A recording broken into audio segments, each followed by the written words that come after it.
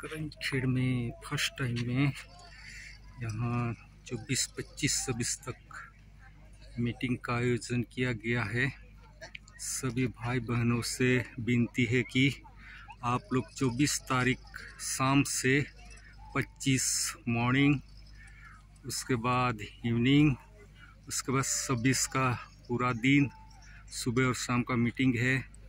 तो जो भी भाई बहन मेरा ब्लॉग देख रहे हो, सभी भाई बहनों को मेरी विनती है, आप आइए, इस सभा में भाग लीजिए और आशीष पाइए। Thank you God bless you